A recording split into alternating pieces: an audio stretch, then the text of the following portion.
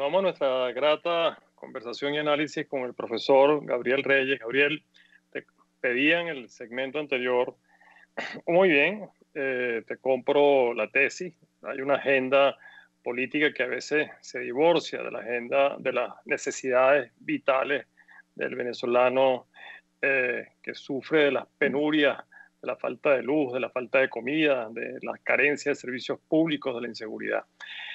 Si tú tuvieses en tus manos en este momento hablar con el presidente Guaidó y más que con el presidente, con el grupo, con la clase política, con el G4, por ejemplo, ¿cuál sería tu consejo? Wow.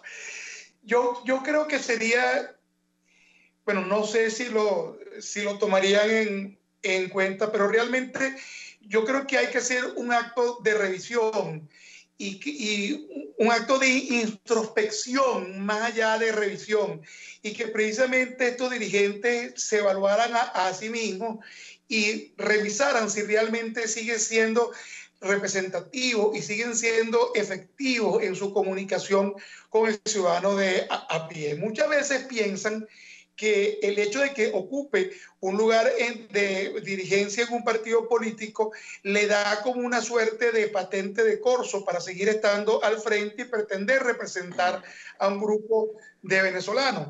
La respuesta de ellos tal vez es la apatía, eh, eh, es el desgano a ese discurso y tal vez habría que revisar, y por eso estoy de acuerdo cuando Juan Guaidó se separa de la militancia eh, partidista lo hace precisamente buscando la independencia de criterio y que no sea el G4 quien motorice la dinámica política que él de alguna forma se siente en la responsabilidad de desarrollar.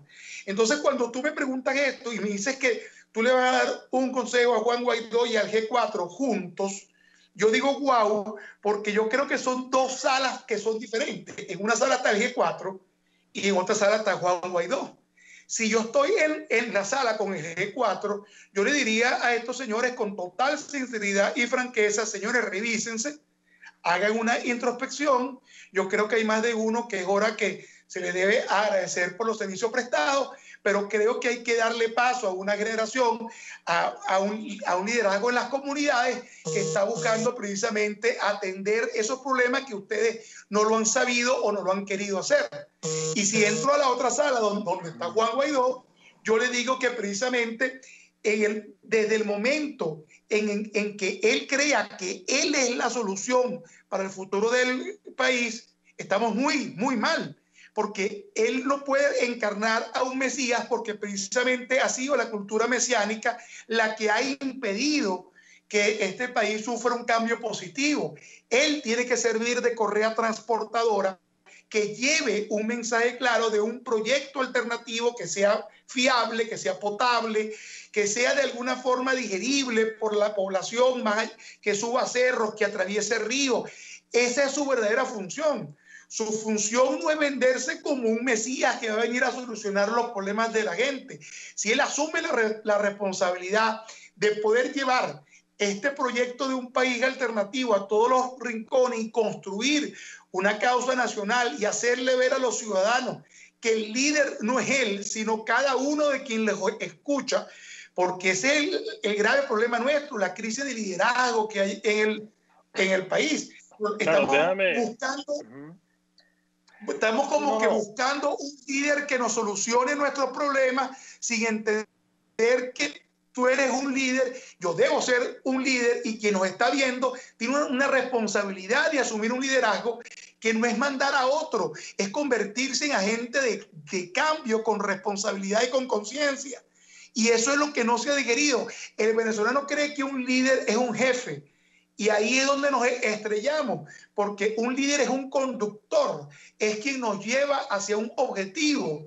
Y llevarnos hacia un objetivo se hace a través de la comunicación efectiva y, por supuesto, a través de un proyecto en, en el que la gente crea.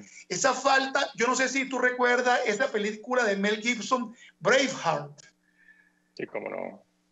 Bueno, si tú dices que ese señor era un líder, bueno, él fue capaz de generar una causa nacional que fue compartida y sentida con pasión. Ahí está su liderazgo. Su liderazgo no era el que él fuera el mejor guerrero o el que gritara más duro o el que cabalgara más rápido, sino que él supo transmitirle a todos esos soldados que estaban ahí que esa causa nacional tenía que moverlos con pasión. Y eso es lo que es necesario hoy en día. Ese sería el consejo que yo le diera a Juan Guaidó en este momento. Fíjate, muy, muy interesante el concepto de liderazgo, porque liderazgo es pasión y gerencia precisamente. Y está surgiendo poco a poco una iniciativa de la sociedad civil para tratar de generar una suerte de consulta al tiempo que el régimen quiere llevarnos nuevamente a estas elecciones artificiosas, ¿no? Un liderazgo de la sociedad civil que se estaría organizando para, repito, removilizar un poco a la gente y obviamente en, eh, en, esa, en ese movimiento de movimiento intentar, eh, aún con una situación muy difícil, Gabriel, como es la pandemia, eh, removilizar a un país inerme. ¿no? ¿Cómo ves tú esa alternativa un poco en la línea de lo que ha dicho la conferencia episcopal de no hacer de la abstención una suerte de, de inacción política? Yo creo que tal vez el comunicado de la conferencia episcopal se malinterpretó en términos más sintácticos que, que, semánticos. Cuando se refería a la abstención, la gente lo asoció de manera directa a la abstención electoral. Y yo creo que se referían a la abstención de participar políticamente. Y en este sentido, creo que hace como un mes tú y yo estábamos conversando y te decía que había que refrescar un libro de Francis Fukuyama que se llama Trust, que habla precisamente del capital social, que es ese valor necesario para que las sociedades progresen, para alcanzar la calidad de vida.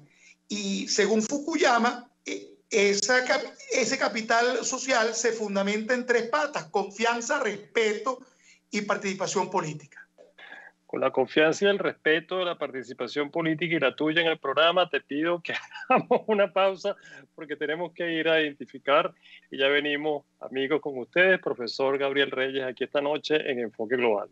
No se aparten de nuestro lado.